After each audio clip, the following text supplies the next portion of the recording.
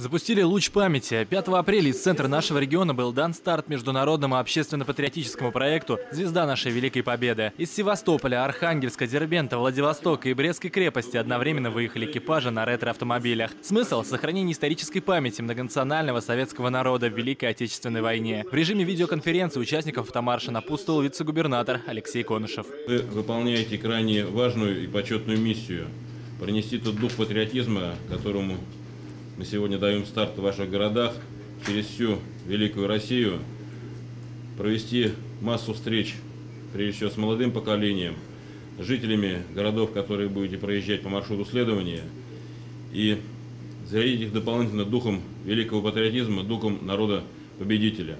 Автомарш «Звезда Великой Победы» пройдет через города-герои и места воинской славы. В каждом населенном пункте ребята оставят копию Знамени Победы. Всего в марше примет участие 125 человек. Порядка 100 из них жители 33-го региона. Боевое братство России, непосредственно сопровождая э, данное мероприятие, закупило с этой целью 10 УАЗиков «Патриот», 5 «Фордов», транзит 18 местных микроавтобусов, и пять автомобилей «Побед» подготовили наши командиры групп.